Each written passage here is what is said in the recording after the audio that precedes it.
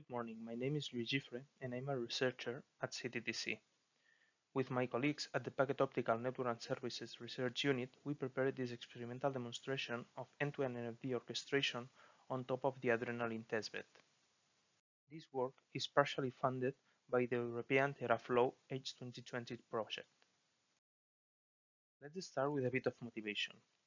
ONF Transport API, TAPI for short, is an abstract interface enabling vendor-agnostic control and operation of layers 0 up to 2 of transport networks.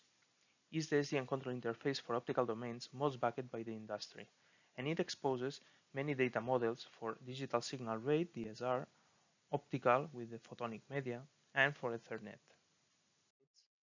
ETSI open source Mano is an NFV orchestrator able to manage single and multi-site network services which relies on virtual man uh, infrastructure managers for managing the cloud resources in the data centers and WAN infrastructure managers the, uh, to manage the inter-data center connectivity by means of transport SDN controllers.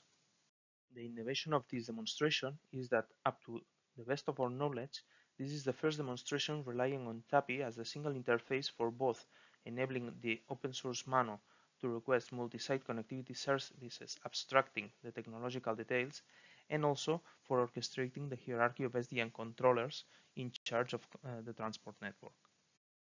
This is the architecture of the Adrenaline testbed created by CTTC. On top, the open source Mano is in charge of managing the virtual network functions and also requesting the end-to-end -end connectivity through the transport API. The request is received by the end-to-end -end transport SDN controller based on ABNO that in charge uh, instructs the Open Daylight SDN controllers to configure the packet domains and also the Open uh, Optical Transport SDN controller, again based on ABNO, uh, uh, to establish the optical connectivity. This interaction between SDN controllers is also supported by Transport API. The Optical Transport SDN controller is in charge of controlling the optical devices through the Open Line System controller using Transport API and the XFPs on the packet devices by means of an HTTP interface. On the data plane, the optical transport network is composed of four reconfigurable optical add and drop multiplexers controlled by means of a REST API by the OLS controller and a set of open virtual switches controlled by means of Open Daylight controllers using uh, OpenFlow. Finally, the virtual infrastructure managers that are used are based on OpenStack. The ABNO-based SDN controllers are implemented by CTTC in Python 3, and they follow this architecture. The service orchestrator is the main module and is in charge of coordinating, implementing workflows and coordinating the rest of modules. It also exposes an orthogonal interface featuring a Transport API plugin. The Virtual Link Manager is in charge of creating the virtual Ethernet links from DSR connections requested to lower layers. Then the, the virtual links created can be reused by subsequent Ethernet connections until its capacity is exhausted. The path computation element is in charge of computing the routes for the connections. The transport manager controls the transponders and features a plugin-based architecture to support different transponder interfaces and the control uh, the connection manager and the context manager uh, are the components providing Southbound interfaces towards lower uh, controllers.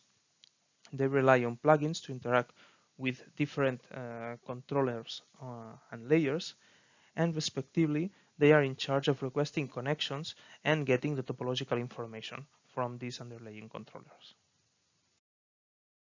This is the multi-site Hackfest multi-VDU um, example network service that we are using for this demonstration.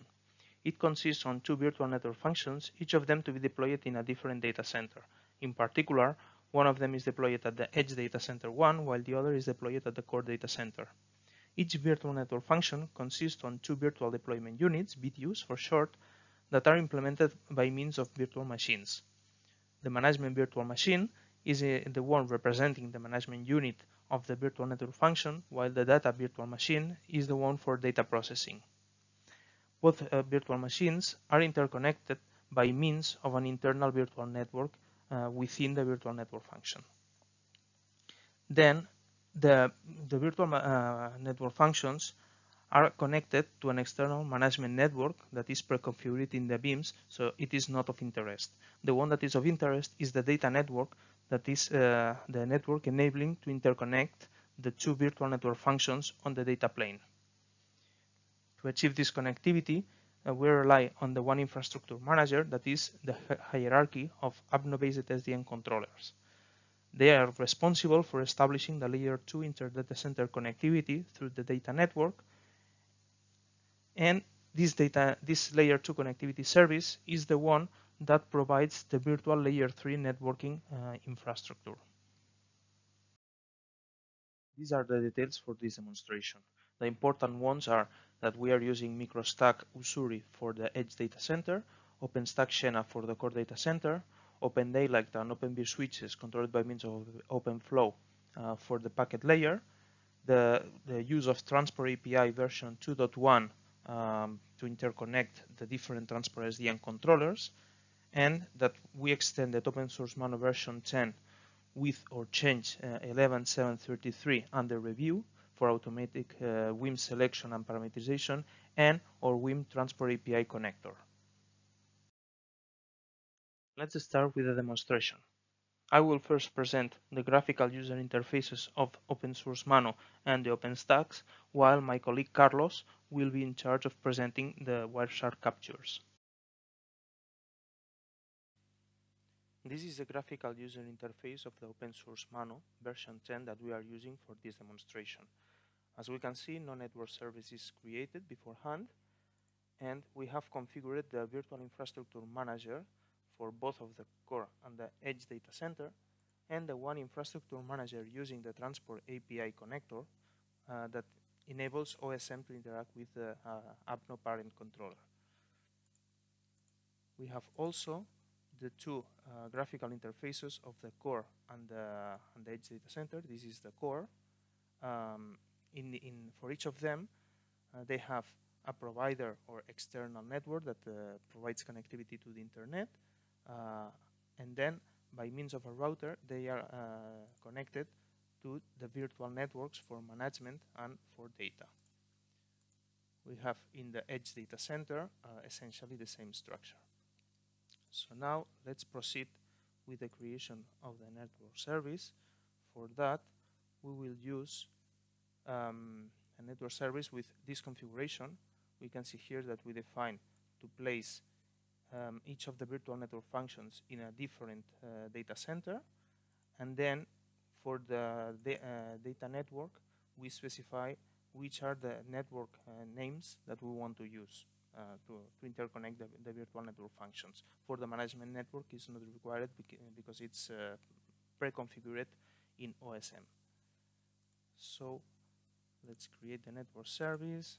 Here we will put netsoft 22 network service. We specify to use the Hackfest multi-VDU network service by default core data center and we need to specify the configuration we will use the configuration that we described beforehand.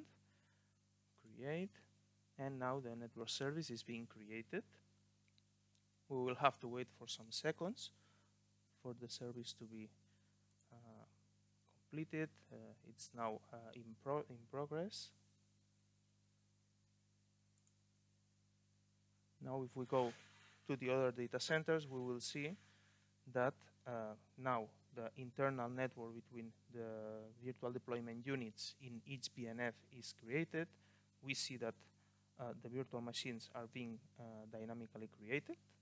The same for the edge data center. Well, in this one, it's already created. We have the internal network, we have the data network, and the management network, and the two VDUs or virtual machines. Uh, in this case, one for data, and the other for management. If we go to the other data center, we have the same. I mean, we have the internal network, the data network, and the management network, and the two virtual machines. Now we can check here. It is still uh, processing. Now it is uh, in the last task, that is the, the, creation of the connectivity. So let's wait for uh, some additional seconds to have the connectivity up between the, the virtual machines. Okay, it's done. So now the, the virtual network functions are configured. Now let's proceed to connect to the two uh, data virtual machines. So this is the one at the core data center and this is the one at the edge data center. Let's minimize these two screens.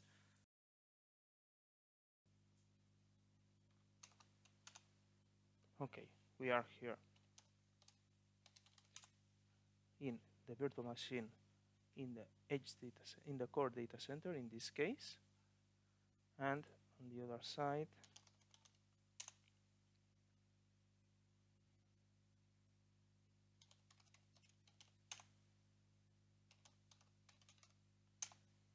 we are in the edge data center. So first we will need to configure the ETH1 interface. For that we'll run the DHCP client over interface Ethernet 1 okay it's configuring IP address. We got the IP address directly from the DHCP and we got the routes within the cluster these routes I mean in the routers are already configured the static routes to reach the other data centers. So here we will now configure oops,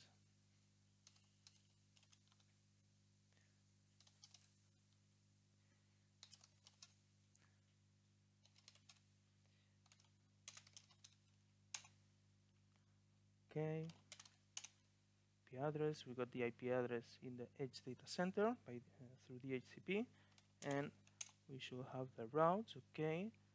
So now from this uh, virtual machine in the edge we should be able to ping for instance the IP address of the other machine. It's 1081.2.5 1081.2.5 okay so the ping is working. Perfect Here we can see the first packet, which is the OSM requesting to the multi-domain controller the provisioning of the end-to-end -end connectivity service. Uh, first, the multi-domain controller asks the optical controller to provision the connection of on its domain, and it returns the response. And we can see here what happened. The multi-domain control, the first the multi-domain controller asked the the the provision to the optical controller. The optical controller in turn ask the open line system to to uh, configure the uh, switches. Then uh, the optical controller uh, enables the lasers by the using an XFP agent, which first enables it and then sets the channel. And finally, the optical controller returns the response to the multi-domain controller. Then uh, the same is done for the H HDC controller, which we can see in here. It uh, this is the request for, on for the H controller then it asks the Open Daylight to to provision the, to provision the Ethernet connection. It returns the response, and then the edge controller returns the response to the multi-domain controller. Uh, the same exactly as the as what happened in the edge controller is done on the core on the other side on the core on the core domain. And finally, it returns the response to the OSM. And then uh, the, the same steps are done for the other direction. We showcased an orchestration of an end-to-end multi-site network service on top of the Adrenaline testbed. The ETSI open source Mano orchestrates the cloud resources and requests inter-data center connectivity to the uh, hierarchy of ABNO-based SDN controllers in charge of the WAN connectivity. The interaction between the orchestration plane components relies on the transport API interface and our future work includes contributing the uh, transport WIM connector to the OSM project and also extended it with some additional service constraints to bring quality of service assurance to OSM. This concludes the demonstration. Thank you very much for your attention.